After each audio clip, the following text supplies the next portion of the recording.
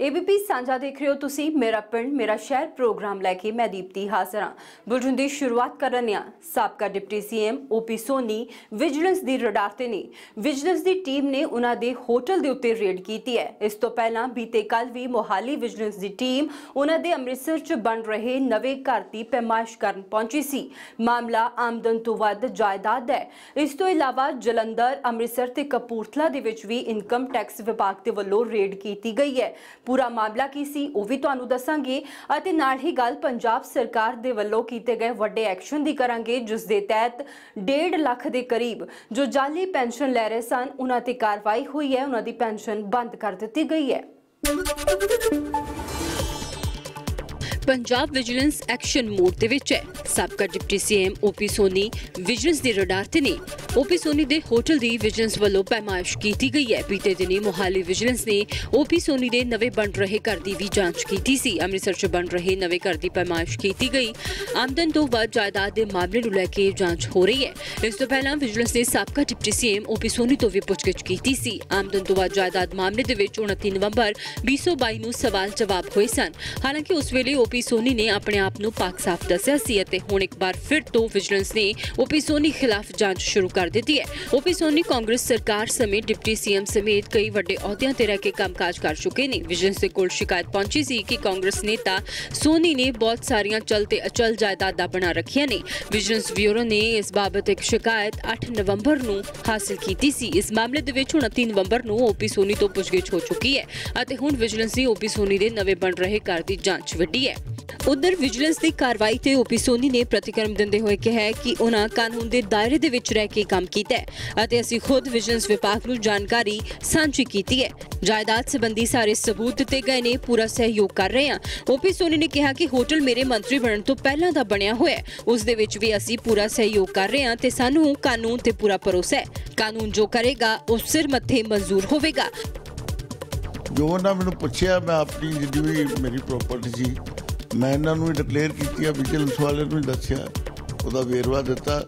ਉਹ ਹੁਣ ਜਿਹੜੀ ਪ੍ਰਾਪਰਟੀ ਆ, ਉਹਦੀ ਮੈਜ਼ਰਮੈਂਟ ਕਰ ਰਹੇ ਨੇ। ਉਹ ਕਾਨੂੰਨ ਦੇ ਮੁਤਾਬਕ ਉਹਨਾਂ ਕਰਨਾ ਹੀ ਆ। ਸੋ ਜੋ ਕੁਝ ਉਹ ਕਰਨਗੇ, ਬਾਅਦ ਚ ਜੋ ਇਨਕੁਆਰੀ ਐਂਡ ਹੋਏਗਾ, ਜੋ ਡਿਸੀਜਨ ਹੋਏਗਾ, ਉਹਦੇ ਚ ਦੁੱਧ ਦਾ ਦੁੱਧ, ਪਾਣੀ ਦਾ ਪਾਣੀ ਸਾਹਮਣੇ ਆ ਜਾਏਗਾ। ਸੋ ਮੈਂ ਕੋਈ ਗਲਤ ਕੰਮ ਕਰਦਾ ਨਹੀਂ ਜ਼ਿੰਦਗੀ ਵੇਖੋ ਜਿਹੜਾ ਹੋਟਲ ਆ ਉਹ ਤਾਂ ਸਾਡਾ ਮੇਰੇ ਮੰਤਰੀ ਬਣਨ ਤੋਂ ਪਹਿਲਾਂ ਦਾ ਬਣਿਆ ਸਟਾਫ। ਸੋ ਕੋਈ ਨਹੀਂ, ਉਹਦੀ ਮੈਜ਼ਰਮੈਂਟ ਕਰ ਲੈਣ। ਉਹ ਪ੍ਰੋਪਰ ਤਰੀਕੇ ਨਾਲ ਕਾਨੂੰਨ ਦੇ ਮੁਤਾਬਕ ਸਾਰਾ ਬਣਾਇਆ ਗਿਆ, ਕੋਈ ਉਹ ਜਿਹੀ ਗੱਲ ਨਹੀਂ। ਮੈਂ ਜੋ ਵੀ ਕੀਤਾ, ਕਾਨੂੰਨ ਦੇ ਮੁਤਾਬਕ ਕੀਤਾ, ਕਾਨੂੰਨ ਦੇ ਦਾਇਰੇ 'ਚ ਰਹਿ ਕੇ ਕੀਤਾ ਰਿਟਰਨਾਂ ਸਾਰੀਆਂ ਹੋਈਆਂ ਫਾਈਲ ਕੀਤੀਆਂ, ਕੋਈ ਇਹੋ ਜਿਹੀ ਗੱਲ ਨਹੀਂ। ਜੇ ਕੋਈ ਮੇਰਾ ਘਰ ਬਣ ਰਿਹਾ, ਉਹਦਾ ਵੀ ਇਹਨਾਂ ਮੈਜ਼ਰਮੈਂਟ ਕਰਨ ਗਏ ਨੇ, ਕਿਉਂਕਿ ਉਹਨਾਂ ਕਾਨੂੰਨ ਦੇ ਮੁਤਾਬਕ ਹੁਣ ਕਰਨਾ ਸੋ ਕਰਨ ਵੈਲਕਮ ਮੈਂ ਕਿਸੇ ਨੂੰ ਕੋਈ ਰੋਕਦਾ ਥੋੜਾ ਮੈਂ ਤੇ ਉਹਨਾਂ ਦਾ ਸਾਥ ਦੇ ਰਿਹਾ। ਤਸਵੀਰਾਂ 'ਚ ਨਜ਼ਰ ਆ ਰਹੇ ਠਿਕਾਣੇ ਤੇ ਇਨਕਮ ਟੈਕਸ ਵਿਭਾਗ ਨੇ ਰੇਡ ਕੀਤੀ ਹੈ। ਪਹਿਲੀ ਤਸਵੀਰ ਅੰਮ੍ਰਿਤਸਰ ਦੀ ਹੈ, ਜਿੱਥੇ ਅੰਮ੍ਰਿਤਸਰ 'ਚ ਹੈਡਮਾਸਟਰ ਦੇ ਠਿਕਾਣੇ ਤੇ ਰੇਡ ਹੋਈ ਹੈ। ਦੂਸਰੀ ਤਸਵੀਰ ਜਲੰਧਰ, ਜਿੱਥੇ ਜਲੰਧਰ 'ਚ ਪਾਸਟਰ ਦੇ ਠਿਕਾਣਿਆਂ ਤੇ ਆਈਟੀ ਦੇ ਵੱਲੋਂ ਛਾਪੇਮਾਰੀ ਕੀਤੀ ਗਈ ਹੈ। ਦੋਹਾਂ ਦੇ ਧਰਮਲ ਪਰਿਵਰਤਨ ਦੇ ਨਾਮ ਤੇ ਪੈਸੇ ਇਕੱਠੇ ਕਰਨ ਅਤੇ ਆਮਦਨ ਤੋਂ ਵੱਧ ਜਾਇਦਾਦ ਬਣਾਉਣ ਦੇ ਇਲਜ਼ਾਮ ਲੱਗੇ ਨੇ। ਜਲੰਧਰ 'ਚ ਪਾਸਟਰ ਬਜਿੰਦਰ ਸਿੰਘ ਦੇ ਠਿਕਾਣੇ ਤੇ ਰੇਡ ਹੋਈ ਤੇ ਬਜਿੰਦਰ ਦਾ ਸਾਥੀ ਅਵਤਾਰ ਸਿੰਘ ਵੀ ਇਨਕਮ ਟੈਕਸ ਦੀ ਰਡਾਰ ਤੇ ਹੈ। ਅਵਤਾਰ ਸਿੰਘ ਸਰਕਾਰੀ ਮੁਲਾਜ਼ਮ ਤੇ ਸਰਕਾਰੀ ਮੁਲਾਜ਼ਮ ਹੋਣ ਦੇ ਬਾਵਜੂਦ ਵੀ ਅਵਤਾਰ ਸਿੰਘ ਤੇ ਧਰਮ ਪਰਿਵਰਤਨ ਕਰਵਾਉਣ ਦੇ ਇਲਜ਼ਾਮ ਲੱਗੇ ਨੇ। ਅਵਤਾਰ ਸਿੰਘ ਅਟਾਰੀ ਦੇ ਪਿੰਡ ਨੇਸ਼ਟਾ ਦੇ ਸਰਕਾਰੀ ਸਕੂਲ ਦਾ ਹੈਡਮਾਸਟਰ ਹੈ। ਗੁੰਮਰਾਹ ਕਰ ਧਰਮ ਪਰਿਵਰਤਨ ਕਰਨ ਦੇ ਲਈ ਉਤਸ਼ਾਹਿਤ ਕਰਨ ਦੇ ਵੀ ਇਲਜ਼ਾਮ ਨੇ। ਚਰਚ ਦੇ ਲਈ ਜ਼ਮੀਨ ਦੀ ਖਰੀਦੋ ਫਰੋਖਤ ਅਤੇ ਬਜਿੰਦਰ ਦਾ ਫਾਈਨੈਂਸ਼ੀਅਲ ਰਿਕਾਰਡ ਮੇਨਟੇਨ ਕਰਦਾ ਸੀ। ਅਵਤਾਰ ਸਿੰਘ ਤੇ ਕਰਜ਼ ਮੋੜਨ ਦੇ ਵੀ ਇਲਜ਼ਾਮ ਨੇ। ਆਮਦਨ ਤੋਂ ਵੱਧ ਲਗਜ਼ਰੀ ਲਾਈਫਸਟਾਈਲ ਦੇ ਇਲਜ਼ਾਮ ਲੱਗੇ ਨੇ। 27 ਸਤੰਬਰ 2022 ਨੂੰ ਪੰਜਾਬ ਬੰਦ ਦਾ ਬੰਦੋਬਸਤ ਕਰਨ ਦੇ ਵੀ ਦੋਸ਼ ਹੇਠ ਕਿਰੇ ਨੇ। ਪਾਸਟਰ ਬਜਿੰਦਰ ਮੋਹਾਲੀ ਦੇ ਕੁਰਾਲੀ ਚ ਰਾਜਗੜ੍ਹ ਪਿੰਡ ਦੇ ਚਰਚ ਆਫ ਗਲੋਰੀ ਅਤੇ ਵਿਜ਼ਡਮ ਦਾ ਪ੍ਰਧਾਨ ਵੀ ਹੈ, ਪਰ ਉਸ ਦਾ ਘਰ ਅੰਮ੍ਰਿਤਸਰ ਦੇ ਵਿੱਚ ਵੀ ਹੈ, ਜਿੱਥੇ ਇਨਕਮ ਟੈਕਸ ਨੇ ਛਾਪੇਮਾਰੀ ਕੀਤੀ ਹੈ। ਇਸ ਮਾਮਲੇ ਦੇ ਵਿੱਚ ਸਵਾਲ ਅਵਤਾਰ ਸਿੰਘ ਤੇ ਨੇ, ਕਿਉਂਕਿ ਸਰਕਾਰੀ ਮੁਲਾਜ਼ਮ ਹੋਣ ਦੇ ਬਾਵਜੂਦ ਵੀ ਪਾਸਟਰ ਬਜਿੰਦਰ ਸਿੰਘ ਦਾ ਸਾਥ ਦੇ ਰਿਹਾ ਸੀ। ਕਪੂਰਥਲਾ ਦੀ ਓਪਨ ਡੋਰ ਚਰਚ ਖੋਜੇਵਾਲ ਦੇ ਵਿੱਚ ਵੀ ਇਨਕਮ ਟੈਕਸ ਵਿਭਾਗ ਦੀ ਟੀਮ ਨੇ ਦਬਿਸ਼ ਦਿੱਤੀ ਹੈ। ਕਪੂਰਥਲਾ ਦੀ ਇਹ ਚਰਚ ਪਿਛਲੇ ਕਾਫੀ ਸਮੇਂ ਤੋਂ ਚਰਚਾ ਦੇ ਵਿੱਚ ਸੀ, ਜਿਸ ਦਾ ਕਾਰਨ ਚਰਚ ਦੀ ਵੱਧ ਰਹੀ ਲੋਕਪ੍ਰਿਯਤਾ ਤੇ ਇਸ ਦੇ ਨਾਲ ਅਲੱਗ-ਅਲੱਗ ਆਲੀਸ਼ਾਨ ਭਵਨਾਂ ਦਾ ਨਿਰਮਾਣ ਸੀ।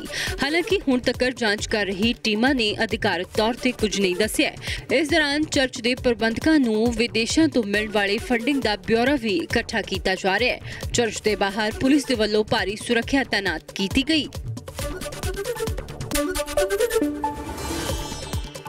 ਪੰਜਾਬ ਵਿਜੀਲੈਂਸ ਬਿਊਰੋ ਨੇ ਇੱਕ ਵਿਅਕਤੀ ਲਾਲਚੰਦ ਬਾਂਸਲ ਵਾਸੀ ਗੁਗਰਾ ਮਾੜੀ ਕਲੋਨੀ ਖਰੜ ਨੂੰ ਪਟਿਆਲਾ ਦੇ ਮਿਊਨਿਸਪਲ ਇੰਜੀਨੀਅਰ ਬਲਦੇਵ ਰਾਜ ਵਰਮਾ ਦੀ ਸ਼ਿਕਾਇਤ ਤੋਂ ਬਾਅਦ ਗ੍ਰਿਫਤਾਰ ਕਰ ਲਿਆ ਅਧਿਕਾਰੀ ਨੇ ਬਿਊਰੋ ਨੂੰ ਦਿੱਤੀ ਸ਼ਿਕਾਇਤ ਦੇ ਵਿੱਚ ਦੋਸ਼ ਲਗਾਇਆ ਕਿ ਉਕਤ ਵਿਅਕਤੀ ਨੇ ਉਸ ਨੂੰ ਬਿਊਰੋ ਕੋਲ ਸ਼ਿਕਾਇਤ ਕਰਨ ਦੀ ਧਮਕੀ ਦੇ ਕੇ ਬਲੈਕਮੇਲ ਕੀਤਾ ਹੈ।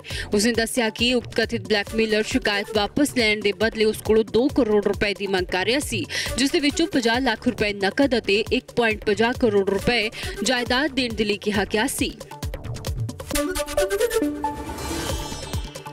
ਪੰਜਾਬ ਸਰਕਾਰ ਨੇ ਸੂਬੇ ਅੰਦਰ 90000 ਜਾਲੀ ਪੈਨਸ਼ਨ ਲੈਣ ਵਾਲਿਆਂ ਦਾ ਪਰਦਾਫਾਸ਼ ਕੀਤਾ ਜਿਸ ਦੇ ਨਾਲ ਪੰਜਾਬ ਸਰਕਾਰ ਨੂੰ ਕਰੀਬ 14 ਕਰੋੜ ਰੁਪਏ ਦੀ ਬਚਤ ਹੋਈ ਹੈ।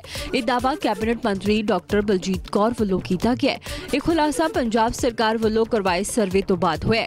ਦਰਅਸਲ, ਪੰਜਾਬ ਸਰਕਾਰ ਨੇ ਪਿਛਲੇ ਦਿਨੀ ਇੱਕ ਸਰਵੇ ਕਰਵਾਇਆ ਸੀ, ਜਿਸ ਦੇ ਵਿੱਚ ਪਤਾ ਲੱਗਾ ਕਿ ਪੰਜਾਬ ਦੇ ਵਿੱਚ 90000 ਦੇ ਕਰੀਬ ਲੋਕ ਅਜਿਹੇ ਨੇ ਜਿਨ੍ਹਾਂ ਦੀ ਮ੍ਰਿਤਿੂ ਹੋ ਚੁੱਕੀ ਹੈ, ਪਰ ਉਹਨਾਂ ਦੇ ਨਾਮ ਤੇ ਪੈਨਸ਼ਨ ਦਿੱਤੀ ਜਾ ਰਹੀ ਸੀ। ਪਰ ਇਸ ਕਾਰਵਾਈ ਤੋਂ ਬਾਅਦ ਪੰਜਾਬ ਪੰਜਾਬ ਸਰਕਾਰ ਦਾ ਕਰੀਬ 13 ਤੋਂ 14 ਕਰੋੜ ਰੁਪਇਆ ਬਚ ਰਿਹਾ ਹੈ। ਪੰਜਾਬ ਸਰਕਾਰ ਨੇ ਇੱਕ ਹੋਰ ਸਰਵੇ ਕਰਵਾਇਆ, ਜਿਸ ਦੇ ਵਿੱਚ ਪਤਾ ਲੱਗਾ ਕਿ ਪੰਜਾਬ ਦੇ ਵਿੱਚ 60000 ਦੇ ਕਰੀਬ ਲੋਕ ਅਜਿਹੇ ਨੇ ਜਿਨ੍ਹਾਂ ਨੂੰ ਪੈਨਸ਼ਨ ਨਹੀਂ ਮਿਲਣੀ ਚਾਹੀਦੀ, ਪਰ ਫਿਰ ਵੀ ਉਹ ਪੈਨਸ਼ਨ ਲੈ ਰਹੇ ਨੇ। ਇਸ ਤਰ੍ਹਾਂ ਇਹ ਕੁੱਲ ਆંકੜਾ 1.5 ਲੱਖ ਬਣ ਜਾਂਦਾ ਹੈ। ਪਰ ਹੁਣ ਪੰਜਾਬ ਸਰਕਾਰ ਦੇ ਵੱਲੋਂ 1.5 ਲੱਖ ਦੇ ਕਰੀਬ ਲੋਕਾਂ ਦੇ ਖਿਲਾਫ ਕਾਰਵਾਈ ਕਰਦੇ ਹੋਏ ਉਹਨਾਂ ਦੀ ਪੈਨਸ਼ਨ ਬੰਦ ਕਰ ਦਿੱਤੀ ਗਈ ਹੈ। ਉਧਰ ਕੈਬਨਿਟ ਮੰਤਰੀ ਬਲਜੀਤ ਕੌਰ ਮੁਤਾਬਕ ਪੰਜਾਬ ਦੇ ਵਿੱਚ ਜੋ ਦਿਵਿਆਂਗ ਬੱਚੇ ਨੇ, ਉਹਨਾਂ ਨੂੰ ਅੱਗੇ ਵਧਾਉਣ ਦੇ ਲਈ ਵੀ ਕੰਮ ਹੋ ਰਿਹਾ ਹੈ ਅਤੇ ਅਲੱਗ-ਅਲੱਗ ਥਾਵਾਂ ਤੇ ਇੱਕ ਖਾਸ ਪਹਿਲ ਸ਼ੁਰੂ ਕੀਤੀ ਗਈ ਹੈ। ਫਿਲਹਾਲ ਤਾਂ ਅਸੀਂ ਉਹਨਾਂ ਦੀ ਪੈਨਸ਼ਨ ਜੋ ਬੰਦ ਕਰ ਦਿੱਤੀ ਹੈ, ਜਿਹਦੇ ਕਰਕੇ ਸਾਨੂੰ ਬਜਟ 'ਚ ਵੀ ਫਾਇਦਾ ਹੋਇਆ ਔਰ 14-15 ਕਰੋੜ ਹਰ ਮਹੀਨੇ ਦਾ ਬਚਣ ਲੱਗਿਆ। ਇਸ ਤੋਂ ਬਾਅਦ ਸਿਰਫ ਮ੍ਰਿਤਕ ਬੈਨੀਫੀਸ਼ਰੀ ਨਹੀਂ, ਉਸ ਤੋਂ ਬਾਅਦ ਅਸੀਂ ਉਹ ਬੈਨੀਫੀਸ਼ਰੀ ਕੱਢੇ ਕਿ ਜਿਨ੍ਹਾਂ ਨੂੰ ਲੋੜ ਹੀ ਨਹੀਂ ਸੀ। ਜਿਹੜੇ ਚੰਗੇ ਘਰਾਂ ਨੂੰ ਬਿਲੋਂਗ ਕਰਦੇ ਸੀ, ਸੋ 60000 ਦੇ ਕਰੀਬ ਉਹ ਵੀ ਸਾਡੇ ਕੋਲ ਗਿਣਤੀ ਆ ਗਈ ਹੈ ਤੇ ਉਸ ਤੋਂ ਬਾਅਦ ਉਹਨਾਂ ਨੂੰ ਵੀ ਅਸੀਂ ਕੱਟ ਆਊਟ ਕਰਨ ਲੱਗੇ ਹਾਂ। ਐਟ ਦਾ ਸੇਮ ਟਾਈਮ ਜਿਹੜੇ ਡਿਪਾਰਟਮੈਂਟ ਇਹਨੂੰ ਵੈਰੀਫਾਈ ਕਰਦੇ ਆ, ਉਹਨਾਂ ਤੇ ਵੀ ਐਕਸ਼ਨ ਕਰਨ ਦੀ ਜ਼ਰੂਰਤ ਹੈ, ਕਿਉਂਕਿ ਜੇ ਇਦਾਂ ਗਲਤ ਤਰੀਕੇ ਨਾਲ, ਗਲਤ ਵੈਰੀਫਿਕੇਸ਼ਨ ਨਾਲ ਜਿਹੜੀਆਂ ਪੈਨਸ਼ਨਾਂ ਗਈਆਂ ਹੈਗੀਆਂ, ਉਹਦੇ ਵਿੱਚ ਜਦੋਂ ਸਿਸਟਮ ਇਨਵੋਲਵ ਹੋ ਜਾਂਦਾ, ਤੇ ਸਿਸਟਮ ਨੂੰ ਵੀ ਖਿੱਚਣ ਦੀ ਜ਼ਰੂਰਤ ਹੈ ਪੁੱਲ ਅਪ ਕਰਨ ਦੀ ਜ਼ਰੂਰਤ ਹੈਗੀ ਹੈ। ਬੁਲਟਨ ਚ ਵੇਲਾ ਇੱਕ ਛੋਟੇ ਜਿਹੇ ਬ੍ਰੇਕ ਦਾ ਹੋ ਗਿਆ ਬ੍ਰੇਕ ਤੋਂ ਪਾਰ ਗੱਲ ਪੰਜਾਬ ਪੁਲਿਸ ਦੀ ਗੈਂਗਸਟਰਾਂ ਖਿਲਾਫ ਕੀਤੀ ਗਈ ਵੱਡੀ ਕਾਰਵਾਈ ਅਤੇ ਭਾਰਤ ਪਾਕਿਸਤਾਨ ਸਰਹੱਦ ਤੇ ਮਿਲਦੀ ਹੈਰੋਇਨ ਦੀ ਕਰਾਂਗੀ।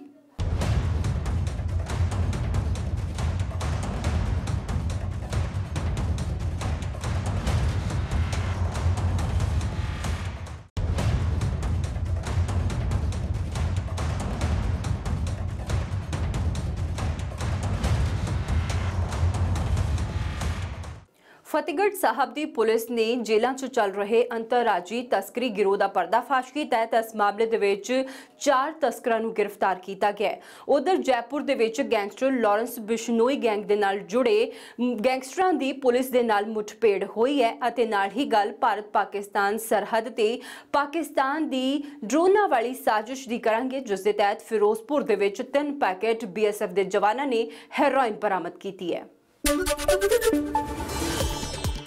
ਨਸ਼ਾ ਵਿਰੁੱਧ ਵੱਡੀ ਮੁਹਿੰਮ ਦੇ ਤਹਿਤ ਫਤਿਹਗੜ੍ਹ ਸਾਹਿਬ ਪੁਲਿਸ ਨੇ ਜੇਲ੍ਹ 'ਚੋਂ ਚੱਲ ਰਹੇ ਅੰਤਰਰਾਜੀ ਦਵਾਈਆਂ ਅਤੇ ਕੈਟਲ ਦਾ ਪਰਦਾਫਾਸ਼ ਕਰਦਿਆਂ ਜੇਲ੍ਹ 'ਚੋਂ ਦੋ ਕੈਦੀਆਂ ਅਤੇ ਇੱਕ ਸਪਲਾਇਰ ਸਮੇਤ ਚਾਰ ਵਿਅਕਤੀਆਂ ਨੂੰ ਗ੍ਰਿਫਤਾਰ ਕੀਤਾ ਹੈ, ਜਿਨ੍ਹਾਂ ਦੀ ਨਿਸ਼ਾਨਦੇਹੀ ਤੇ ਇੱਕ ਗੋਡਾਊਨ 'ਚੋਂ 531000 ਨਸ਼ੀਲੀਆਂ ਗੋਲੀਆਂ ਤੇ ਕੈਪਸੂਲ ਬਰਾਮਦ ਹੋਏ ਨੇ। ਗ੍ਰਿਫਤਾਰ ਕੀਤੇ ਗਏ ਵਿਅਕਤੀਆਂ ਦੀ ਪਹਿਚਾਣ ਸਨੀ ਕੁਮਾਰ, ਰਣਜੀਤ ਸਿੰਘ, ਜਦਕਿ ਇਸ਼ਾਨ ਗੁਪਤਾ ਤੇ ਰਵੀ ਕੁਮਾਰ ਨੂੰ ਕੇਂਦਰੀ ਜੇਲ੍ਹ ਲੁਧਿਆਣਾ ਤੋਂ ਪ੍ਰੋਡਕਸ਼ਨ ਵਾਰੰਟ ਤੇ ਲਿਆਂਦਾ ਗਿਆ ਸੀ। ਉਸੇ ਕੜੀ ਦੇ ਵਿੱਚ ਇੱਕ ਬਹੁਤ ਵੱਡਾ ਮਾਰਕਾ ਮਾਰਿਆ ਹੈ। ਮੈਂ ਕਹੂੰਗਾ ਡਾਕਟਰ ਰਵਜੋਤ ਕੌਰ ਗਰੇਵਾਲ, ਜਿਹੜੇ ਐਸਐਸਪੀ ਫਤਿਹਗੜ੍ਹ ਸਾਹਿਬ ਨੇ, ਉਹਨਾਂ ਦੀ ਕਮਾਂਡ 'ਚ ਫਤਿਹਗੜ੍ਹ ਸਾਹਿਬ ਪੁਲਿਸ ਨੇ ਡਰੱਗ ਦੇ ਖਿਲਾਫ ਜਿਹੜੀ ਜੰਗ ਛੇੜੀ ਹੈ, ਉਹਦੇ 'ਚ ਇੱਕ ਬੜੀ ਵੱਡੀ ਅਚੀਵਮੈਂਟ ਹੋਈ ਹੈ, ਜਿਸ 'ਚ ਟੋਟਲ 531900 ਦੇ ਕਰੀਬ ਕੈਪਸੂਲ ਤੇ ਗੋਲੀਆਂ ਫੜੀਆਂ ਨੇ ਔਰ ਰਿਮਾਰਕੇਬਲ ਮੈਂ ਇਹਨੂੰ ਕਹੂੰਗਾ ਇਨਵੈਸਟੀਗੇਸ਼ਨ ਹੋਈ ਹੈ, ਜਿਹੜੀ ਪ੍ਰੋਫੈਸ਼ਨਲ ਤਰੀਕੇ ਨਾਲ ਸਭ ਤੋਂ ਪਹਿਲਾਂ ਇੱਕ ਮੁਲਜ਼ਮ ਇਹਨਾਂ ਨੇ ਫੜਿਆ ਗੋਬਿੰਦਗੜ੍ਹ ਦੇ ਵਿੱਚ, ਸਨੀ ਨਾਮ ਦਾ। ਉਹ ਤੋਂ 19000 ਦੇ ਕਰੀਬ ਜਿਹੜੇ ਓਪੀਓਇਡਸ ਰਿਕਵਰ ਹੋਏ। ਉਹਦੀ ਪੁੱਛਗਿੱਛ ਦੇ ਵਿੱਚ ਫਾਲੋ ਅਪ ਦੇ ਵਿੱਚ ਪਤਾ ਲੱਗਿਆ ਕਿ ਲੁਧਿਆਣਾ ਜੇਲ੍ਹ ਦੇ ਵਿੱਚ ਜਿਹੜੇ ਦੋ ਪੁਰਾਣੇ ਡਰੱਗ ਸਮਗਲਰ ਨੇ, ਉਹ ਲੌਜਡ ਨੇ ਤੇ ਸਾਰਾ ਜਿਹੜਾ ਕਾਟਲ ਹੈ, ਉਹੀ ਉਹ ਚਲਵਾ ਰਹੇ ਨੇ। ਉਹਨਾਂ ਨੂੰ ਫਿਰ ਪ੍ਰੋਟੈਕਸ਼ਨ ਵਾਰੰਟ ਤੇ ਲੈ ਕੇ ਆਂਦਾ ਇੱਕ ਇਸ਼ਾਨ ਤੇ ਰਵੀ। ਕਿਉਂਕਿ ਦੋਨਾਂ ਦੇ ਖਿਲਾਫ ਪਹਿਲਾਂ ਵੀ ਮੁਕੱਦਮੇ ਕਾਫੀ ਦਰਜ ਨੇ ਐਨਡੀਪੀਐਸ ਦੇ, ਵੱਖ-ਵੱਖ ਜ਼ਿਲ੍ਹਿਆਂ ਦੇ ਵਿੱਚ। ਔਰ ਉਹਨਾਂ ਦੀ ਪੁੱਛਗਿੱਛ ਦੇ ਵਿੱਚ ਜਿਹੜਾ ਰਣਜੀਤ ਏਲੀਅਸ ਰਵੀ, ਜਿਹੜਾ ਜੋ ਕਿ ਸ਼ਿਮਲਾਪੁਰੀ, ਲੁਧਿਆਣੇ ਦਾ ਰਹਿਣ ਵਾਲਾ ਹੈ, ਉਹਨੂੰ ਨੋਮੀਨੇਟ ਕਰਕੇ ਉਹਨੂੰ ਅਰੈਸਟ ਕੀਤਾ ਗਿਆ। ਉਹਦੀ ਨਿਸ਼ਾਨਦੇਹੀ ਦੇ ਉੱਤੇ ਇੱਕ ਵੱਡਾ ਗਡਾਊਨ ਜਿਹੜਾ ਸ਼ਿਮਲਾਪੁਰੀ ਏਰੀਆ ਦੇ ਵਿੱਚ, ਲੁਧਿਆਣੇ ਦੇ ਵਿੱਚ, ਉਹ ਸੀਜ਼ ਕੀਤਾ ਗਿਆ ਔਰ ਉੱਥੋਂ ਰਿਕਵਰੀ ਹੋਈ ਐਡੀ ਵੱਡੀ ਇਹ। ਜੈਪੁਰ ਦੇ ਖੋਨਾ ਗੋਰਿਆਂ ਚ ਲਾਰੈਂਸ ਦੇ ਤਿੰਨ ਸ਼ੂਟਰਾਂ ਤੇ ਪੁਲਿਸ ਵਿਚਾਲੇ ਮੁੱਠਭੇੜ ਹੋਈ ਹੈ। ਸ਼ੂਟਰ ਬੀਤੀ ਦਿਨੀ ਜੈਪੁਰ ਦੇ ਜਵਾਹਰ ਨਗਰ 'ਚ ਜੀ ਕਲੱਬ ਤੇ ਫਾਇਰਿੰਗ ਕਰ ਭੱਜੇ ਸਨ। ਇਸ ਹਮਲੇ ਦੀ ਜ਼ਿੰਮੇਵਾਰੀ ਸੋਸ਼ਲ ਮੀਡੀਆ ਤੇ ਪੋਸਟ ਪਾ ਕੇ ਰਿਤਿਕ ਬਾਕਸਰ ਨੇ ਲਈ ਸੀ। Ritik boxer Lawrence Bishnoi group ਦਾ ਮੈਂਬਰ ਹੈ। ਇਹਨਾਂ ਗੁਰਗਿਆਂ ਨੂੰ ਦੇਰ ਰਾਤ ਆਗਰਾ ਤੋਂ ਗ੍ਰਿਫਤਾਰ ਕਰ ਜੈਪੁਰ ਪੁਲਿਸ ਜੈਪੁਰ ਲੈ ਕੇ ਆ ਰਹੀ ਸੀ। ਇਸੇ ਦੌਰਾਨ ਖੋਨਾ ਗੋਰਿਆਂ ਦੇ ਕੋਲ ਪੁਲਿਸ ਗੱਡੀ ਦੇ ਵਿੱਚ ਹਥਿਆਰ ਖੋਣ ਤੋਂ ਬਾਅਦ ਇਹਨਾਂ ਬਦਮਾਸ਼ਾਂ ਨੇ ਪੁਲਿਸ ਮੁਲਾਜ਼ਮਾਂ ਤੇ ਹਮਲਾ ਕਰ ਦਿੱਤਾ ਮੁੱਠਭੇੜ ਦੌਰਾਨ ਬਦਮਾਸ਼ਾਂ ਨੂੰ ਗੋਲੀ ਲੱਗੀ ਹੈ ਹਾਲਾਂਕਿ ਇਸ ਮੁੱਠਭੇੜ ਦੌਰਾਨ ਕਿਸੇ ਵੀ ਪੁਲਿਸ ਕਰਮੀ ਨੂੰ ਗੋਲੀ ਨਹੀਂ ਲੱਗੀ ਸੀਐਸਟੀ ਕ੍ਰਾਈਮ ਬ੍ਰਾਂਚ ਟੀਮ ਅਤੇ ਬਦਮਾਸ਼ਾਂ ਦਰਮਿਆਨ ਮੁੱਠਭੇੜ ਦੇ ਵਿੱਚ ਜੋ ਜ਼ਖਮੀ ਹੋਏ ਉਹਨਾਂ ਨੂੰ ਐਸਐਮਐਸ ਹਸਪਤਾਲ ਭਰਤੀ ਕਰਵਾ ਦਿੱਤਾ ਗਿਆ ਹੈ तीन दिन पहले जो जी क्लब पे फायरिंग हुई थी वो फायरिंग करने वाले अपराधियों को कल यूपी पुलिस की मदद से आगरा के नज़दीक से गिरफ्तार करके राजस्थान पुलिस ला रही थी। रास्ते में जयपुर के नज़दीक जब पहुँचे हैं उस दौरान इन अपराधियों के द्वारा पुलिस का हथियार छीन के पुलिस पे फायर करने की कोशिश की। उसमें काउंटर जब पुलिस ने फायर किया है उसमें इन बदमाशों की गोली लगी है जिनका उपचार जयपुर में कहाँ की किस जगह ये थाना खोना उनको यहाँ सुबह लेकर आई हैं हमारे पास। और तीनों के तीनों जो हैं उनके लेग्स में इंजरीज हैं। एक जो पेशेंट है ऋषभ अ, प्रदीप वह पेशेंट थोड़ा सा सीरियस है उसका बीपी भी डाउन था उसको सेटल कर लिया है और हमने आईसीयू में लिया है semi ICU bed number nine पे। अभी स्टेबल है, लेकिन उसके पाँव में जो चोट लगी है, उससे उसके, उनके दौरे की संभावना कम लग रही है उसको भी सर्जरी के लिए लेंगे सी वाले देखने के बाद। और बाकी के जो दो पेशेंट्स हैं, उनमें भी एक में लेग बोन फ्रैक्चर है। उस पेशेंट के अंदर कुछ पैलेट्स भी हैं, लेकिन दोनों पेशेंट वो खतरे से बाहर है उन्होंने एक साथ मास कैजुअलिटी वार्ड में लिया। ਗੁਰਦਾਸਪੁਰ ਦੀ ਸਰਹੱਦ ਤੇ ਇੱਕ ਵਾਰ ਫਿਰ ਤੋਂ ਪਾਕਿਸਤਾਨ ਦੀ ਡਰੋਨ ਵਾਲੀ ਸਾਜ਼ਿਸ਼ ਹੋਈ ਹੈ। ਪਾਕਿਸਤਾਨ ਵਾਲੇ ਪਾਸਿਓਂ ਸਰਹੱਦ ਅੰਦਰ ਇੱਕ ਵਾਰ ਫਿਰ ਤੋਂ ਡਰੋਨ ਦਾਖਲ ਹੋਇਆ। ਬੀਐਸਐਫ ਨੇ 14 ਰਾਉਂਡ ਫਾਇਰ ਕਰ ਇਸ ਪਾਕਿਸਤਾਨੀ ਡਰੋਨ ਨੂੰ ਮੁੜ ਭਾਰਤ ਦੀ ਸਰਹੱਦ ਤੋਂ ਵਾਪਸ ਬਾਹਰ ਕਰ ਦਿੱਤਾ।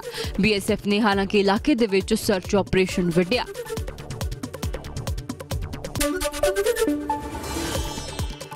ਫਿਰੋਜ਼ਪੁਰ ਚ ਮੁੜ ਤਿੰਨ ਪੈਕੇਟ ਹੈਰੋਇਨ ਮਿਲ ਗਿਆ ਬੀਐਸਐਫ ਦੀ 136ਵੀਂ ਬਟਾਲੀਅਨ ਨੇ ਫਿਰੋਜ਼ਪੁਰ ਭਾਰਤ ਪਾਕਿਸਤਾਨ ਸੀਮਾ ਬੀਓਪੀ ਮਬੋਕੀ ਦੇ ਏਰੀਏ ਚੋਂ ਪਾਕਿਸਤਾਨ ਤੋਂ ਆਏ ਤਿੰਨ ਪੈਕੇਟ ਹੈਰੋਇਨ ਬਰਾਮਦ ਕੀਤੇ ਨੇ। ਖੁਰਾ ਚੈਕਿੰਗ ਪਾਰਟੀ ਦੇ ਵੱਲੋਂ ਸਰਚ ਆਪਰੇਸ਼ਨ ਕਰ ਖੇਤਾਂ ਦੇ ਵਿੱਚੋਂ ਪਿਆ ਹੋਇਆ ਇੱਕ ਸਫੇਦ ਰੰਗ ਦਾ ਪੋਲੀਥੀਨ ਬੈਗ ਬਰਾਮਦ ਕੀਤਾ ਗਿਆ ਸੀ, ਜਿਸ ਚੋਂ ਤਿੰਨ ਪੈਕੇਟ ਹੈਰੋਇਨ ਦੀ ਰਿਕਵਰੀ ਹੋਈ ਹੈ। ਪਾਕਿਸਤਾਨੀ ਨਸ਼ਾ ਤਸਕਰਾਂ ਨੇ ਇਸ ਤੇ ਪੀਲੇ ਰੰਗ ਦੀ ਟੇਪ ਚੜਾ ਰੱਖੀ ਸੀ, ਜਿਸ ਨੂੰ ਬੀਐਸਐਫ ਦੇ ਜਵਾਨਾਂ ਨੇ ਬਰਾਮਦ ਕਰ ਲਿਆ ਬੁਲਟਨ ਚ ਵੇਲਾ ਇੱਕ ਹੋਰ ਛੋਟੇ ਜਿਹੇ ਬ੍ਰੇਕ ਦਾ ਹੋ ਗਿਆ ਬ੍ਰੇਕ ਤੋਂ ਪਾਰ ਗੱਲ ਕੇਂਦਰੀ ਬਜਟ ਦੀ ਕਰਾਂਗੇ।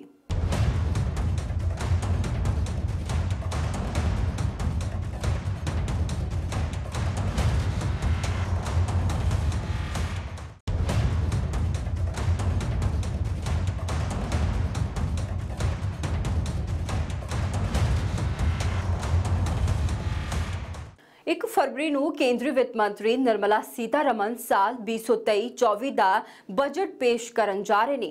ਇਸ ਬਜਟ ਤੇ ਦੁਨੀਆ ਦੀਆਂ ਨਜ਼ਰਾਂ ਟਿਕੀਆਂ ਹੋਈਆਂ ਨੇ ਤੇ ਦੇਸ਼ ਵਾਸੀ ਵੀ ਇਸ ਬਜਟ ਤੋਂ ਕਈ ਆਸਾਂ ਲਗਾ ਕੇ ਬੈਠੇ ਹੋਏ ਨੇ। ਵਪਾਰੀ ਜੀਐਸਟੀ ਦੇ ਵਿੱਚ ਕਟੌਤੀ ਦੀ ਮੰਗ ਕਰ ਰਹੇ ਨੇ। ਇਸ ਤੋਂ ਇਲਾਵਾ ਟੂਰਿਜ਼ਮ ਇੰਡਸਟਰੀ ਦੇ ਨਾਲ ਜੁੜੇ ਹੋਏ ਲੋਕ ਅਗਲੇ 10 ਸਾਲਾਂ ਦੇ ਲਈ ਟੂਰਿਜ਼ਮ ਇੰਡਸਟਰੀ ਨੂੰ ਟੈਕਸ ਫ੍ਰੀ ਕਰਨ ਦੀ ਮੰਗ ਕਰ ਰਹੇ ਨੇ। ਮਹਿਲਾਵਾਂ ਦੀ ਵੀ ਆਪਣੀ ਮੰਗ ਹੈ ਕਿਉਂਕਿ ਘਰੇਲੂ ਬਜਟ ਦੇ ਉੱਤੇ ਵੱਡਾ ਅਸਰ ਇਸ ਕੇਂਦਰੀ ਬਜਟ ਦਾ ਪੈਂਦਾ ਹੈ। ਸੋ ਮਹਿੰਗਾਈ ਤੇ ਠੱਲ ਪਾਉਣ ਦੀ ਮੰਗ ਜੋ ਨੇ ਉਹ ਮਹਿਲਾਵਾਂ ਕਰ ਰਹੀਆਂ ਨੇ। ਨੌਜਵਾਨਾਂ ਦੇ ਵੱਲੋਂ ਮੰਗ ਕੀਤੀ ਜਾ ਰਹੀ ਹੈ ਕਿ ਦੇਸ਼ ਦੇ ਅੰਦਰ ਹੀ ਕੇਂਦਰ ਸਰਕਾਰ ਸਟਾਰਟਅਪ ਤੇ ਫੋਕਸ ਕਰੇ। ਵਿੱਤ ਮੰਤਰੀ ਨਿਰਮਲਾ ਸੀਤਾਰਮਨ 1 ਫਰਵਰੀ ਨੂੰ ਕੇਂਦਰੀ ਬਜਟ ਪੇਸ਼ ਕਰਨ ਜਾ ਰਹੇ ਨੇ। ਕੇਂਦਰੀ ਬਜਟ 2023-24 2024 ਦੀਆਂ ਲੋਕ ਸਭਾ ਚੋਣਾਂ ਤੋਂ ਪਹਿਲਾਂ ਆਖਰੀ ਬਜਟ ਹੋ ਸਕਦਾ ਹੈ। ਹਾਲਾਂਕਿ ਦੇਸ਼ ਦੇ ਬਜਟ ਤੇ ਦੁਨੀਆ ਭਰ ਦੀਆਂ ਨਜ਼ਰਾਂ ਟਿਕੀਆਂ ਨੇ। ਪਰ ਦੇਸ਼ ਵਾਸੀਆਂ ਨੂੰ ਇਸ ਬਜਟ ਤੋਂ ਖਾਸੀਆਂ ਉਮੀਦਾਂ ਨੇ। ਹਰ ਵਰਗ ਆਪਣੇ ਲਈ ਕੁਝ ਰਾਹਤ ਦੀ ਉਮੀਦ ਰੱਖੀ ਬੈਠਾ ਹੈ। ਛੋਟੇ, ਮੱਧਵਰਗੀ, ਸਣੇ, ਵੱਡੇ ਵਪਾਰੀ ਰਾਹਤ ਦੀ ਉਮੀਦ 'ਚ ਨੇ ਅਤੇ ਮਹਿੰਗਾਈ ਦੇ ਦੌਰ 'ਚ ਮਹਿਲਾਵਾਂ ਵੀ ਘਰੇਲੂ ਬਜਟ ਨੂੰ ਲੈ ਕੇ ਚਿੰਤਤ ਨਜ਼ਰ ਆ ਰਹੀਆਂ ਨੇ। ਹੁਣ ਕੇਂਦਰ ਤੋਂ ਆਸ ਹੈ ਕਿ ਕੇਂਦਰੀ ਬਜਟ 'ਚ ਮਹਿਲਾਵਾਂ ਨੂੰ ਵੀ ਕੁਝ ਰਾਹਤ ਮਿਲੇਗੀ। ਉਧਰ ਸੰਸਦ ਸੈਸ਼ਨ ਦਾ ਪਹਿਲਾ ਹਿੱਸਾ 31 ਜਨਵਰੀ ਤੋਂ ਸ਼ੁਰੂ ਹੋ ਚੁੱਕਾ ਹੈ, ਜੋ 13 ਫਰਵਰੀ ਤੱਕ ਚੱਲੇਗਾ। ਉੱਥੇ ਹੀ 14 ਫਰਵਰੀ ਤੋਂ 12 ਮਾਰਚ ਤੱਕ ਛੁੱਟੀ ਰਹੇਗੀ। ਬਜਟ ਸੈਸ਼ਨ ਦਾ ਦੂਸਰਾ ਹਿੱਸਾ 13 ਮਾਰਚ ਤੋਂ 6 ਅਪ੍ਰੈਲ ਤੱਕ ਚੱਲੇਗਾ। ਹਾਲਾਂਕਿ ਪ੍ਰਧਾਨ ਮੰਤਰੀ ਮੋਦੀ ਨੇ ਸੰਕੇਤ ਦਿੱਤਾ ਹੈ ਕਿ ਬਜਟ ਦੇਸ਼ ਦੇ ਲੋਕਾਂ ਦੇ ਹਿੱਤ 'ਚ ਹੋਵੇਗਾ। ਉਧਰ ਵਿਰੋਧੀ ਬਜਟ ਪੇਸ਼ ਹੋਣ ਤੋਂ ਪਹਿਲਾਂ ਹੀ ਕੇਂਦਰ ਸਰਕਾਰ ਦੀ ਮਨਸ਼ਾ ਤੇ ਸਵਾਲ ਖੜੇ ਕਰ ਰਹੇ ਨੇ। 10 ਲੱਖ ਕਰੋੜ ਰੁਪਈਆ ਪਿਛਲੇ ਸਮੇਂ ਦੇ ਵਿੱਚ ਬੈਂਕਾਂ ਦਾ ਵੱਟੇ ਖਾਤੇ ਪਾਤਾ ਔਰ ਮੈਨੂੰ ਨਹੀਂ ਲੱਗਦਾ ਵੀ ਇਹ ਤੋਂ ਆਮ ਬੰਦੇ ਨੂੰ ਕੋਈ ਉਮੀਦ ਹੋਵੇ ਵੀ ਹਾਂ ਵੀ ਇਹ ਜਿਹੜਾ ਸ- ਜਿਹੜਾ ਹਿੰਦੁਸਤਾਨ ਦੀ ਸਰਕਾਰ ਜਿਹੜੀ ਬਜਟ ਦੇਣ ਜਾ ਰਹੀ ਆ, ਉਹ ਕੋਈ ਬਹੁਤਾ ਵਧੀਆ ਹੋਊਗਾ। ਔਰ ਕਿਉਂਕਿ ਅਨਇੰਪਲੋਇਮੈਂਟ ਵਧੀ ਹੈਗੀ ਆ ਜਿਹੜਾ ਲੋਨ ਦੀ ਰਿਕਵਰੀ ਉਹ ਘਟੀ ਹੈਗੀ ਆ। ਮੱਧਮ ਵਪਾਰੀ ਬਜਟ ਨੂੰ ਲੈ ਕੇ ਉਮੀਦਾਂ ਦੇ ਵਿੱਚ ਹੈ। ਟੂਰਿਜ਼ਮ ਇੰਡਸਟਰੀ ਦੇ ਨਾਲ ਸੰਬੰਧਿਤ ਵਪਾਰੀਆਂ ਮੁਤਾਬਕ ਕੋਰੋਨਾ ਕਾਰਨ ਟੂਰਿਜ਼ਮ ਇੰਡਸਟਰੀ ਨੇ ਪਹਿਲਾਂ ਹੀ ਭਾਰੀ ਘਾਟੇ ਨੂੰ ਚੱਲਿਆ ਹੈ। ਟੂਰਿਜ਼ਮ ਵਪਾਰੀ ਕੇਂਦਰ ਤੋਂ ਅਗਲੇ 10 ਸਾਲਾਂ ਦੇ ਲਈ ਟੂਰਿਜ਼ਮ ਇੰਡਸਟਰੀ ਨੂੰ ਟੈਕਸ ਫ੍ਰੀ ਕਰਨ ਦੀ ਮੰਗ ਕਰ ਰਹੇ ਨੇ। ਨਾਲ ਹੀ ਹੋਟਲਾਂ ਤੇ ਲੱਗੇ ਜੀਐਸਟੀ ਨੂੰ ਵੀ ਘੱਟ ਕਰਨ ਦੀ ਸਲਾਹ ਦਿੱਤੀ ਗਈ ਹੈ। ਕੇਂਦਰ ਸਰਕਾਰ ਨੂੰ ਟੂਰਿਜ਼ਮ ਨੂੰ ਵਧਾਵਾ ਦੇਣ ਤੇ ਫੋਕਸ ਕਰਨ ਦੀ ਵੀ ਅਪੀਲ ਕੀਤੀ ਗਈ। ਇਮੀਗ੍ਰੇਸ਼ਨ ਇੰਡਸਟਰੀ ਦੇ ਨਾਲ ਸੰਬੰਧਿਤ ਵਪਾਰੀਆਂ ਨੇ ਬ੍ਰੇਨ ਡਰੇਨ ਨੂੰ ਲੈ ਕੇ ਕੇਂਦਰ ਸਰਕਾਰ ਨੂੰ ਸੋਚਣ ਦੀ ਅਪੀਲ ਕੀਤੀ ਹੈ ਤੇ ਚਿੰਤਾ ਜਤਾਈ ਹੈ ਕਿ ਰੋਜ਼ਗਾਰ ਦੀ ਪਾਲ ਦੇ ਵਿੱਚ ਨੌਜਵਾਨ ਪੀੜ੍ਹੀ ਭਾਰੀ ਗਿਣਤੀ 'ਚ ਵਿਦੇਸ਼ਾਂ ਦਾ ਰੁਖ ਕਰ ਰਹੀ ਹੈ, ਜਿਸ ਨੂੰ ਰੋਕਣ ਦੀ ਲੋੜ ਹੈ। ਤੇ ਬਾਕੀ ਜਿਸ ਤਰ੍ਹਾਂ ਮੈਂ ਟਰੈਵਲ ਲਾਈਨ ਨਾਲ ਬਿਲੋਂਗ ਕਰਦਾ ਤੇ ਮੈਂ ਵੀ ਚਾਹਾਂਗਾ ਕਿ ਟੂਰਿਜ਼ਮ ਵਧਾਉਣ ਵਾਸਤੇ ਹੋਟਲਾਂ ਤੇ ਜਿਹੜਾ ਇੰਨਾ ਇੰਨਾ ਜ਼ਿਆਦਾ ਜੀਐਸਟੀ ਲੱਗਾ ਹੋਇਆ ਹੈ, ਇਹ ਜੀਐਸਟੀ ਘਟਾ ਕੇ ਵੀ ਚਾਈਨਾ ਆਂਕਣ ਭਾਵੇਂ ਚਾਈਨਾ ਸੁਪਰ ਜਿਹੜੀ ਪਾਵਰ ਬਣਨ ਦੀ ਹੈ, ਉਹਨਾਂ ਨੇ ਜੀਐਸਟੀ 5% ਰੱਖਿਆ ਹੋਇਆ ਹੈ। ਤੇ ਸਾਡੇ ਇੱਥੇ ਜੀਐਸਟੀ ਜਿਹੜਾ 28% ਤੱਕ ਚਲੇ ਜਾਂਦਾ ਹੈ, ਅਸੀਂ ਇਹ ਸਗੋਂ ਆਪਣੇ ਟੂਰਿਜ਼ਮ ਪ੍ਰੋਮੋਸ਼ਨ ਜਿਹੜੀ ਸਾਡੇ ਕੋਲ ਇੰਡੀਆ ਨੂੰ ਇੰਨੀ ਵਧੀਆ ਮਿਲੀ ਹੋਈ ਹੈ ਰੱਬੋਂ ਹੀ ਇੰਨੇ ਕਿਲੇ, ਇੰਨੀਆਂ ਚੀਜ਼ਾਂ ਮਿਲੀਆਂ ਹੋਈਆਂ ਦਿਖਾਉਣ ਵਾਸਤੇ, ਉਹਦੇ ਵਾਸਤੇ ਟੂਰਿਜ਼ਮ ਜਿਹੜੀ ਇੰਡਸਟਰੀ ਨੂੰ ਟੈਕਸ ਜਿਹੜੀ ਫ੍ਰੀ ਕਰ ਦੇਣਾ ਚਾਹੀਦਾ ਹੈ ਅਗਲੇ ਆਉਣ ਵਾਲੇ 10 ਸਾਲਾਂ ਵਾਸਤੇ ਤਾਂ ਕਿ ਇੱਥੋਂ ਦੇ ਜਿੰਨੇ ਬੇਰੋਜ਼ਗਾਰ ਲੋਕ ਨੇ ਉਹਨਾਂ ਨੂੰ ਸਾਰਿਆਂ ਨੂੰ ਕੰਮ ਮਿਲ ਜਾਣੇ ਐਸੇ ਗਾਈਡ ਐਸੇ ਡਰਾਈਵਰ ਐਸੇ ट्रैवल एजेंसियां क्योंकि मैं एजुकेशन सेक्टर को बिलोंग करती हूँ and I been into this profession for almost fifteen years now मेरी एक बहुत क्लियर एक्सपेक्टेशंस हैं गवर्नमेंट से कि इंडिया में एक बहुत मेजर इशू है जिसको शायद मीडिया भी इतना हाईलाइट नहीं कर रहा जो कि ब्रेन ड्रेन का इशू है हमारा यूथ ना यहाँ रहना चाहता है एंड ऑनेस्टली उनके लिए enough job opportunities higher education facilities available भी नहीं है। सो so, सरकार जितना भी हो सके I think they should allocate funds for higher education they should focus more on vocational training education sector की एलोकेशन बढ़ाती है या कोई ऐसी स्कीम्स अनाउंस करती है तो that is the best thing they can do budget ਨੂੰ ਲੈ ਕੇ ਨੌਜਵਾਨ ਪੀੜ੍ਹੀ ਵੀ ਜਾਗਰੂਕ ਨਜ਼ਰ ਆ ਰਹੀ ਹੈ। ਨੌਜਵਾਨਾਂ ਨੇ ਕੇਂਦਰ ਸਰਕਾਰ ਨੂੰ ਅਪੀਲ ਕੀਤੀ ਹੈ ਕਿ ਦੇਸ਼ ਅੰਦਰ ਸਟਾਰਟਅਪ ਨੂੰ ਉਤਸ਼ਾਹਿਤ ਕਰਨ ਤੇ ਜ਼ੋਰ ਦਿੱਤਾ ਜਾਣਾ ਚਾਹੀਦਾ ਹੈ, ਤਾਂ ਜੋ ਨੌਜਵਾਨ ਪੀੜ੍ਹੀ ਵਿਦੇਸ਼ਾਂ ਦਾ ਰੁਖ ਨਾ ਕਰੇ। ਇਸ ਤੋਂ ਇਲਾਵਾ ਨੌਜਵਾਨ ਪੀੜ੍ਹੀ ਨੇ ਮਿਡਲ ਕਲਾਸ ਨੂੰ ਇਨਕਮ ਟੈਕਸ ਦੇ ਵਿੱਚ ਛੋਟ ਦੇਣ ਦੀ ਵੀ ਅਪੀਲ ਕੀਤੀ ਹੈ। जो इनकम टैक्स का स्लैब स्पेशली ये है कि जो मिडिल क्लास फैमिलीज़ हैं, उनको इस तरह से होना चाहिए कि सारा बर्डन सिर्फ़ मिडिल क्लास या जो जॉब वर्कर्स हैं, उन पर नहीं आना चाहिए। हाई क्लास पे भी ज़्यादा बर्डन आना चाहिए। इनकम के हिसाब से हम देखते हैं कि टैक्स हमेशा वैसे ही होता है, लेकिन फिर भी जो मिडिल क्लास होता है, उस पर हमेशा सबसे ज़्यादा टैक्स बर्डन आता है। तो गवर्नमेंट को ऐसा कुछ करना चाहिए कि उनका टैक्स बर्डन मैनेज हो और इस तरह से स्टार्टअप्स या फिर इंडस्ट्रीज़ या कंपनीज़ उनको कुछ इस तरह से प्रोविजंस दी जाएँ हैं टैक्स इस तरह से कम किए जाएँ उनके उस पर कि यहीं पे लोग अपनी जॉब्स ढूंढें या यहाँ पे कंपनीज खोलें इंडस्ट्रीज़ खोलें लेकिन अगर उस पर टैक्स ज़्यादा होंगे तो कोई भी नहीं खोलेगा तो उस इस तरह से मैनेज करना चाहिए कि यहाँ पे कंपनीज खोले तो कोई भी ਬਾਹਰ ਨਹੀਂ ਜਾਏਗਾ ਜਿਹੜੇ ਸਾਡੇ ਪੰਜਾਬ ਦੇ ਵਿੱਚ ਜਿਹੜੀ old and old age pension ਆ ਉਹ ਇਸ ਵੇਲੇ ਸਿਰਫ 1500 ਰੁਪਏ ਆ ਤੇ ਬਾਕੀ ਫਰਦਰ ਸਟੇਟਸ ਦੇ ਵਿੱਚ ਹੈਗੀਆਂ 2500 ਕਿਸੇ ਚ 2200 ਵੀ ਤੇ 2100 ਵੀ ਆ ਤੇ ਜਿਹੜੀ ਪੰਜਾਬ ਸਰਕਾਰ ਉਹਨਾਂ ਨੂੰ ਚਾਹੀਦਾ ਕਿ ਉਹ ਜਿਹੜਾ 올ਡ ਏਜ ਪੈਨਸ਼ਨ ਆ ਉਹ ਉਹਦੇ ਚ ਇਜ਼ਾਫਾ ਕਰਨ ਕਿ ਜਿਹੜੇ ਕਈ ਬਜ਼ੁਰਗ ਹੈਗੇ ਜਿਨ੍ਹਾਂ ਦੇ ਬੱਚੇ ਉਹਨਾਂ ਨੂੰ ਜਾਂ ਛੱਡ ਕੇ ਚਲੇ ਗਏ ਜਾਂ ਉਹਨਾਂ ਦੇ ਕੋਈ ਹੈ ਨਹੀਂ ਗਾ ਵੀ ਫਰਦਰ ਉਹ ਆਪਣਾ ਖਰਚਾ ਨਹੀਂ ਕਰ ਸਕਦੇ, ਤੇ ਉਹਨਾਂ ਨੂੰ ਪੈਨਸ਼ਨ ਜ਼ਰੂਰ ਵਧਾਉਣੀ ਚਾਹੀਦੀ ਆ। ਮਹਿੰਗਾਈ ਦੇ ਦੌਰ 'ਚ ਮਹਿਲਾਵਾਂ ਨੂੰ ਵੀ ਕੇਂਦਰ ਤੋਂ ਰਾਹਤ ਦੀ ਆਸ ਹੈ ਮਹਿਲਾਵਾਂ ਮੁਤਾਬਕ ਕੇਂਦਰੀ ਬਜਟ ਘਰੇਲੂ ਬਜਟ ਨੂੰ ਵੱਡੇ ਪੱਧਰ ਤੇ ਪ੍ਰਭਾਵਿਤ ਕਰਦਾ ਹੈ ਮਹਿੰਗਾਈ ਨੂੰ ਠੱਲ ਪਾਈ ਜਾਏ ਤੇ ਹਰ ਰੋਜ਼ ਵਰਤੋਂ ਦੀਆਂ ਚੀਜ਼ਾਂ ਦੇ ਰੇਟ ਘੱਟ ਕੀਤੇ ਜਾਣ ਮਹਿਲਾਵਾਂ ਦੀ ਦਲੀਲ ਮੁਤਾਬਕ ਦਾਲ ਆਟਾ ਸਣੇ ਤੇਲ ਘਿਓ ਖਰੀਦਣਾ ਔਖਾ ਹੋਇਆ ਪਿਆ ਉਧਰ ਘਰੇਲੂ ਬੇਕਰੀ ਦਾ ਕੰਮ ਕਰਨ ਵਾਲੀਆਂ ਮਹਿਲਾਵਾਂ ਦੀ ਦਲੀਲ ਹੈ ਕਿ ਰॉ ਮਟੀਰੀਅਲ ਮਹਿੰਗਾ ਹੋ ਰਿਹਾ ਹੈ ਪਰ ਉਹਨਾਂ ਨੂੰ ਪ੍ਰੋਡਕਟਸ ਪੁਰਾਣੇ ਭਾਅ ਤੇ ਹੀ ਵੇਚਣੇ ਪੈ ਰਹੇ ਨੇ ਨਤੀਜਨ ਵਪਾਰ ਘਾਟੇ ਦਾ ਸੌਦਾ ਬਣ ਗਿਆ ਹੈ हम रसोई में जाते हैं तो ऐसे लगता है भी आज क्या बनाए। ब्रेड लेते हैं, वो भी अब उसका भी रेट बढ़ गया काफ़ी। हम सोचते हैं कुछ चीज़ें, जैसे जो घर की चीज़ें हैं, रसोई में यूज़ करते हैं, वो चीज़ें थोड़ी सी सस्ती होनी चाहिए। उसका रेट थोड़ा सा कम हो जिससे कि हम हम महँगाई हमें भी लगने लगी। जो मीडियम लोग हैं, हमें महँगाई इतनी ज़्यादा लगने लगी। मैं ये सोचती जो गरीब लोग हैं, वो कैसे गुजारा करते होंगे? आटे आटे का भी रेट बहुत बढ़ गया। आटा भी अब, पहले डेढ़ सौ था और डेढ़ सौ भी ज़्यादा हो गया, दो सौ रुपये हो गया। हमारा जो रॉ मटेरियल जो बेकरी में हम बेसिकली यूज़ करते हैं, वो अब बहुत ज़्यादा प्राइस पे हमारे को मिलता है। और हमारे को जो बेक करके देने होते आइटम्स जो हमारी बेक्ड आइटम्स होती हैं, वो हमारे वही रेट पे चलती हैं। वो कस्टमर हमारे को समझ ही नहीं सकते कि हमारा रॉ मटेरियल भी महँगा हो रहा है। जैसे हमारी गैस है, बहुत महँगी हो रही है। आटे का रेट है, वो बहुत महँगा हो गया है। मैदा हमारे को बहुत महँगा मिलता है। शुगर जो हमारी बेसिकली रॉ मटेरियल जो हमारी बेकरी में यूज़ हो रही है वो सब महंगा हो रहा है ਬੁਲਟਨ ਚ ਵੇਲਾ ਇੱਕ ਹੋਰ ਛੋਟੇ ਜਿਹੇ ਬ੍ਰੇਕ ਦਾ ਹੋ ਗਿਆ ਬ੍ਰੇਕ ਤੋਂ ਪਾਰ ਗੱਲ G20 ਸਬਮਿਟ ਅਤੇ ਪੰਜਾਬ ਦੇ ਨਾਲ ਜੁੜੀਆਂ ਕੁਝ ਹੋਰ ਖਬਰਾਂ ਦੀ ਕਰਾਂਗੇ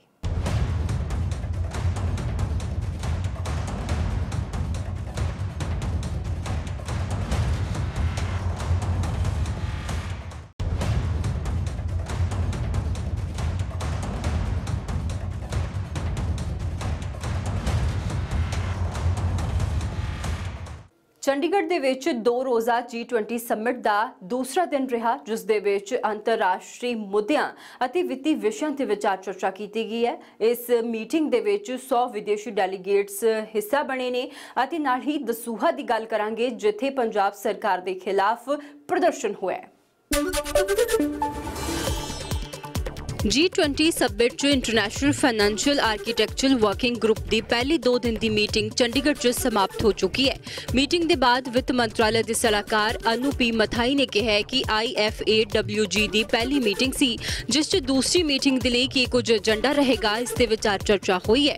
ਕਿਉਂਕਿ ਇੱਕ ਤਰ੍ਹਾਂ ਦੇ ਨਾਲ ਦੂਸਰੀ ਮੀਟਿੰਗ ਦੇ ਲਈ ਇਹ ਇੱਕ ਇਨਪੁਟ ਮੀਟਿੰਗ ਦੀ ਤਰ੍ਹਾਂ ਸੀ। ਉਧਰ ਇਸ ਗਰੁੱਪ ਦੀ ਮੀਟਿੰਗ ਮਾਰਚ ਹੁਣ 2 ਤੇ 3 ਨੂੰ ਹੋਵੇਗੀ, ਜਿਸ ਦਾ ਵੈਨਿਊ ਹਲੇ ਤੈਅ ਨਹੀਂ ਹੋਇਆ। ਦੂਸਰੀ ਮੀਟਿੰਗ ਦੇ ਵਿੱਚ ਮੈਂਬਰ ਦੇਸ਼ਾਂ ਦੇ ਕੇਂਦਰੀ ਬੈਂਕਾਂ ਦੇ ਪ੍ਰੈਜ਼ੀਡੈਂਟ ਹਿੱਸਾ ਲੈਣਗੇ। ਇਸ ਮੌਕੇ ਉਹਨਾਂ ਕਿਹਾ ਕਿ ਮੀਟਿੰਗ ਦੇ ਵਿੱਚ ਮਲਟੀਲੇਟਰਲ ਡਿਵੈਲਪਮੈਂਟ ਬੈਂਕਸ ਨੂੰ ਕਿਵੇਂ ਮਜ਼ਬੂਤ ਕੀਤਾ ਜਾਏ, ਉਸ ਤੇ ਚਰਚਾ ਹੋਈ ਹੈ। ਇਸ ਤੋਂ ਇਲਾਵਾ ਕਰਜ਼ ਨੂੰ ਕਿਸ ਤਰ੍ਹਾਂ ਟੈਕਲ ਕਰਨਾ ਹੈ ਅਤੇ ਜਿਨ੍ਹਾਂ ਦੇਸ਼ਾਂ ਦੀ ਆਰਥਿਕ ਹਾਲਤ ਕਰਜ਼ ਦੀ ਵਜ੍ਹਾ ਦੇ ਨਾਲ ਖਰਾਬ ਹੋ ਸਕਦੀ ਹੈ ਉਹਨਾਂ ਦੇਸ਼ਾਂ ਨੂੰ ਕਿਸ ਤਰ੍ਹਾਂ ਵਿੱਤੀ ਮਦਦ ਦਿੱਤੀ ਜਾਏ, ਉਸ ਤੇ ਵੀ ਵਿਚਾਰ ਹੋਈ ਹੈ। ਪੁਰਾਣੀ ਪੈਨਸ਼ਨ ਬਹਾਲੀ ਕਮੇਟੀ ਦੇ ਵੱਲੋਂ ਦਸੂਹਾ ਦੇ ਹਾਜੀਪੁਰ ਚ ਪੰਜਾਬ ਸਰਕਾਰ ਖਿਲਾਫ ਜੰਮ ਕੇ ਨਾਅਰੇਬਾਜ਼ੀ ਕੀਤੀ ਗਈ ਹੈ ਅਤੇ ਪੰਜਾਬ ਸਰਕਾਰ ਵੱਲੋਂ ਜਾਰੀ ਕੀਤੇ ਗਏ ਅਧੂਰੇ ਨੋਟੀਫਿਕੇਸ਼ਨਾਂ ਦੀਆਂ ਕਾਪੀਆਂ ਵੀ ਸਾੜੀਆਂ ਗਈਆਂ। ਪ੍ਰਦਰਸ਼ਨਕਾਰੀ ਮੁਲਾਜ਼ਮ ਪੁਰਾਣੀ ਪੈਨਸ਼ਨ ਸਕੀਮ ਲਾਗੂ ਕਰਨ ਦੀ ਮੰਗ ਕਰ ਰਹੇ ਨੇ ਅਤੇ ਜੀਪੀਐਫ ਦੀ ਕਟੌਤੀ ਕਰਨ ਦੀ ਵੀ ਮੰਗ ਹੋ ਰਹੀ ਹੈ। ਪ੍ਰਦਰਸ਼ਨਕਾਰੀਆਂ ਮੁਤਾਬਕ ਉਹ ਪੰਜਾਬ ਸਰਕਾਰ ਖਿਲਾਫ ਸਟੇਟ ਲੈਵਲ ਤੇ ਰੈਲੀ ਕਰਨਗੇ ਤੇ ਫਿਰ ਕੇਂਦਰ ਸਰਕਾਰ ਖਿਲਾਫ ਮੂਵਮੈਂਟ ਤੇਜ਼ ਹੋਵੇਗੀ। ਪੰਜਾਬ ਦੀ ਸਰਕਾਰ ਜਿਹੜੀ ਹੈ ਐਨਪੀਐਸ ਹੂਬ ਹੂ ਢੰਗ ਦੇ ਨਾਲ ਹਰ ਹੀਲੇ ਵਸੀਲੇ ਝੂਠ ਬੋਲ ਕੇ ਲਾਗੂ ਕਰ ਰਹੀ ਹੈ। ਔਰ ਝੂਠਾ ਲਾਰਾ ਲੱਪਾ ਲਾ ਕੇ ਸਾਨੂੰ ਸਿਰਫ ਵੱਡੇ ਅੰਦੋਲਨ ਕਰਨ ਤੋਂ ਰੋਕ ਰਹੀ ਹੈ। ਪਰੰਤੂ ਮਜਬੂਰ ਕਰ ਰਹੀ ਹੈ ਕਿ ਅਸੀਂ ਆਪਣੇ ਦੁੱਖਾਂ ਦਾ ਇਜ਼ਹਾਰ ਜਿਹੜਾ ਹੈ, ਉਹ ਇੱਕ ਵੱਡਾ ਸਟੇਟ ਪੱਧਰੀ ਰਾਸ਼ਟਰ ਵਿਆਪੀ ਅੰਦੋਲਨ ਅੰਦੋਲਨ ਕਰਕੇ ਸਰਕਾਰ ਨੂੰ ਆਪਣੀ ਜਿਹੜੀ ਜਾਇਜ਼ ਸੰਵਿਧਾਨਕ ਮੰਗ ਹੈ ਪੁਰਾਣੀ ਪੈਨਸ਼ਨ ਦੀ। ਉਸ ਨੂੰ ਮੰਨਣ ਦੇ ਲਈ ਔਰ ਹੂਬ ਹੂ ਪਹਿਲਾਂ ਦੀ ਤਰ੍ਹਾਂ ਲਾਗੂ ਕਰਨ ਦੇ ਲਈ ਮਜਬੂਰ ਕਰੀਏ। ਇਹਨਾਂ ਨੂੰ 6 ਮਹੀਨੇ ਦਾ ਟਾਈਮ ਮੰਗਦੇ ਸੀ, ਲਗਭਗ ਸਾਲ ਦਾ ਟਾਈਮ ਦੇ ਦਿੱਤਾ। ਹੁਣ ਮੁਲਾਜ਼ਮ ਜਥੇਬੰਦੀਆਂ ਸਟੇਟ ਪੱਧਰ ਤੇ ਵੀ ਤੇ ਨੈਸ਼ਨਲ ਪੱਧਰ ਤੇ ਵੀ, ਪੰਜਾਬ ਸਰਕਾਰ ਔਰ ਨੈਸ਼ਨਲ ਗਵਰਨਮੈਂਟ ਮੋਦੀ ਸਰਕਾਰ ਦੋਨਾਂ ਦੇ ਖਿਲਾਫ ਆਪਣੀ ਮੋਰਚੇਬੰਦੀ ਮਜ਼ਬੂਤ ਕਰੂਗੀ। ਆਉਣ ਵਾਲੇ ਟਾਈਮ ਦੇ ਵਿੱਚ ਸਭ ਤੋਂ ਪਹਿਲਾਂ ਅਸੀਂ ਆਪਣੇ ਸਟੇਟ ਲੈਵਲ ਤੇ ਰੈਲੀ ਕਰਾਂਗੇ, ਭਗਵੰਤ ਮਾਨ ਸਰਕਾਰ ਨੂੰ ਹੁਲਾਰਾ ਦੇਵਾਂਗੇ ਕਿ ਹੁਣ ਵੀ ਜਾਗ ਜਾਓ ਤੇ ਮੁਲਾਜ਼ਮਾਂ ਨੂੰ ਇੰਨਾ ਨਾ ਭੜਕਾਓ ਕਿ ਉਹ ਸੜਕਾਂ ਤੇ ਆਪਣੇ ਪਰਿਵਾਰ ਸਮੇਤ ਆ ਕੇ ਤੁਹਾਡੇ ਖਿਲਾਫ ਪ੍ਰਦਰਸ਼ਨ ਕਰਨ। ਤੇ ਦੂਸਰੇ ਪਾਸੇ ਨੈਸ਼ਨਲ ਲੈਵਲ ਤੇ ਸਾਡੀ ਮੂਵਮੈਂਟ ਵੀ ਤੇਜ਼ ਹੋ ਰਹੀ ਹੈ। ਇੰਟਰਨੈਸ਼ਨਲ ਕ੍ਰਿਕਟ ਸਟਾਰ ਅਤੇ ਵੈਸਟ ਇੰਡੀਜ਼ ਦੇ ਆਲਰਾਊਂਡਰ ਖਿਡਾਰੀ ਕ੍ਰਿਸ ਗੇਲ ਜਲੰਧਰ ਦੇ ਸਪੋਰਟਸ ਮਾਰਕੀਟ ਪਹੁੰਚੇ। ਕ੍ਰਿਸ ਗੇਲ ਜਲੰਧਰ ਦੇ ਕ੍ਰਿਕਟ ਐਸੈਸਰੀਜ਼ ਬਣਾਉਣ ਵਾਲੀ ਇੱਕ ਮਸ਼ਹੂਰ ਕੰਪਨੀ ਦੇ ਬਸਤੀ ਖੇਤਰ ਦੇ ਦਫ਼ਤਰ ਪਹੁੰਚੇ ਸਨ। ਕੰਪਨੀ ਦੇ ਪ੍ਰਬੰਧਕਾਂ ਸਣੇ ਸਥਾਨਕ ਵਿਧਾਇਕ ਸ਼ੀਤਲ ਅੰਗੁਰਾਲ ਵੱਲੋਂ ਉਹਨਾਂ ਦਾ ਸਵਾਗਤ ਕੀਤਾ ਗਿਆ। ਇੱਥੇ ਪਹੁੰਚ ਕੇ ਕ੍ਰਿਸ ਗੇਲ ਨੇ ਕ੍ਰਿਕਟ ਦੇ ਸਮਾਨ ਦੇ ਨਾਲ ਜੁੜੀ ਜਾਣਕਾਰੀ ਹਾਸਲ ਕੀਤੀ ਹੈ। ਇਸ ਤੋਂ ਇਲਾਵਾ ਕੰਪਨੀ ਵੱਲੋਂ ਬਣਾਏ ਜਾ ਰਹੇ ਉਤਪਾਦਾਂ ਨੂੰ ਲੈ ਕੇ ਵੀ ਰੁਚੀ ਦਿਖਾਈ। ਇਹਨਾਂ ਖਬਰਾਂ ਦੇ ਨਾਲ ਇਸ ਬੁਲਟਨ ਚ ਨਹੀਂ ਸੀ। ਦੇਸ਼, ਦੁਨੀਆ ਤੇ ਪੰਜਾਬ ਦੀ ਹਰ ਵੱਡੀ ਖਬਰ ਦੇ ਲਈ ਤੁਸੀਂ ਦੇਖਦੇ ਰਹੋ ਏਬੀਪੀ ਸਾਂਝਾ।